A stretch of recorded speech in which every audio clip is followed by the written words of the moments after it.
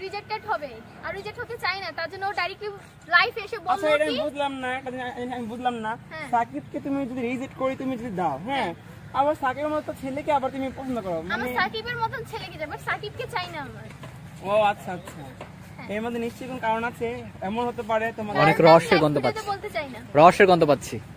রহস্য রহস্য গন্ধ তারপর আমরা রহস্য রহস্যের গন্ধ তো পাচ্ছি না কিন্তু সাকিবের জলার গন্ধ অবশ্যই পাচ্ছি আমরা রাইট ও মাই গড এটা কোন কথা? এটা এটা তো সাকিব।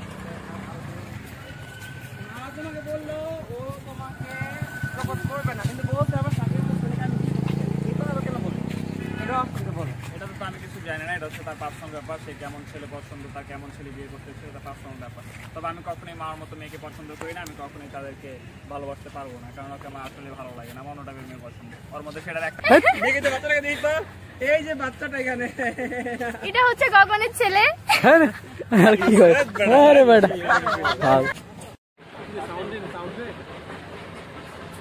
বুঝে সাউন্ড হবে না চলে যাও কোনা চলে যাও আচ্ছা রাস্তা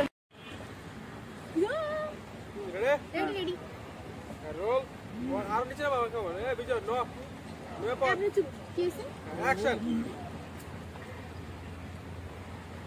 জানো আমার না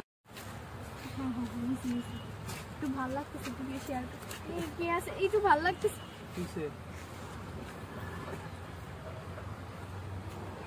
বন্ধ করো আহ, করছে, এই যে-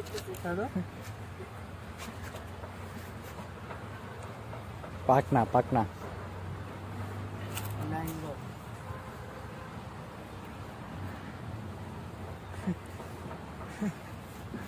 ওকে ওকে ওকে আর একটু শুনি না আর একটু শুনি না নিজে গান মোটামুটি বড় আছে কি গান কোনটা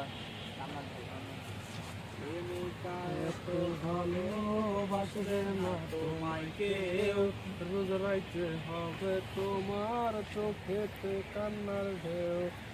আজকে মনে পড়ে বাবুটার কথা?